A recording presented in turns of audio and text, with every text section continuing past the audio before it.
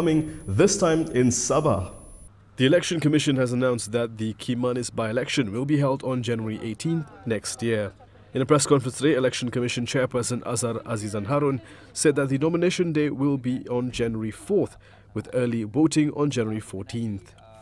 SPR telah menetapkan tarikh-tarikh penting seperti berikut. Hari penamaan calon 4 Januari 2019 hari Sabtu.